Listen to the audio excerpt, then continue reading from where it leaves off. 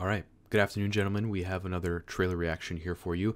And today we're going to be watching Operation Mincemeat official trailer. This is obviously a Netflix movie. And, you know, in the previous Netflix trailer we reacted to, it was like a Rebel Wilson comedy called Senior Year. And that looked pretty horrible. This, on the other hand, so far from this image right here and from the cast or at least the main actor that I um, know is in this movie. I believe his name's like Colin something. I'm blanking on his name, but he's from a ton of things. He's great. I love him.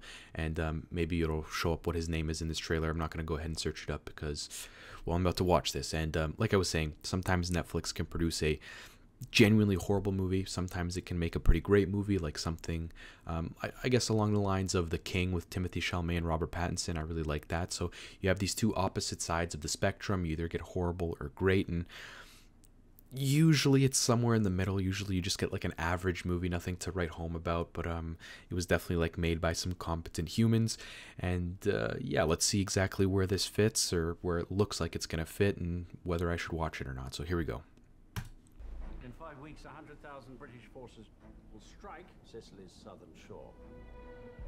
Unfortunately, the Nazis know of our intentions. So we're going to play a humiliating trick. This guy, he's great. we have to convince Germany that our target is Greece. The plan begins in Spain, where a corpse will wash up on shore bearing classified letters. Oh, he's in it too. What's his name? carrying fake documents. He's in like Harry Potter.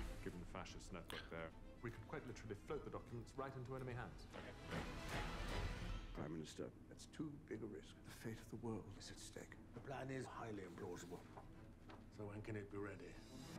Well, what say we start with the easy part and find ourselves a corpse? The thing is, the Germans will scrutinize every detail of our fallen man.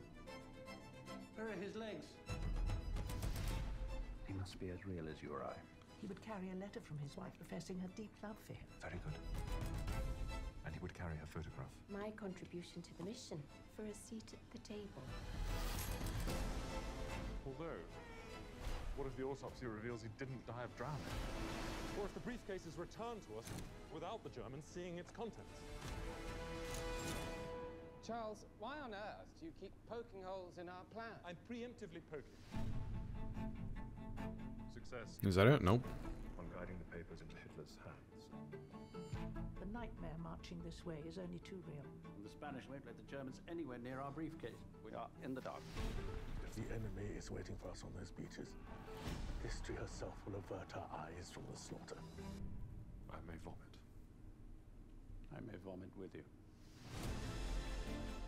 In stories of war, there is that which is seen and that which is hidden. In God's name, Fleming, what are you writing? Spy story. Colin Firth, that's his name. Truth is protected by a bodyguard of lies. Its soldiers unseen. Pray. Its heroes unsung. So is this a show? This is our war. Or just a movie? Operation Mincemeat. When does it come out? Does it say? May 11th. Okay, so my opinions on that trailer. I don't think it was exactly the most gripping trailer.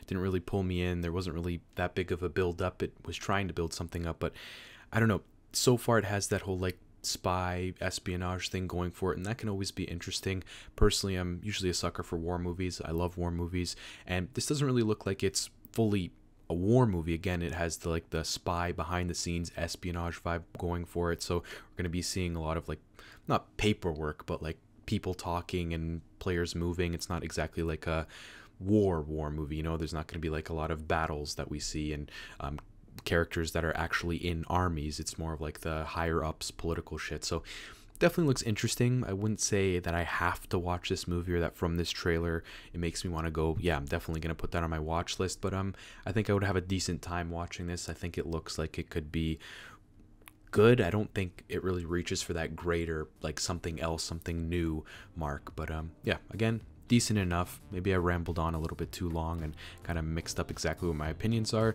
So yeah, again, decent. Probably not going to watch this, but um, if I do, I don't think I would be disappointed by it.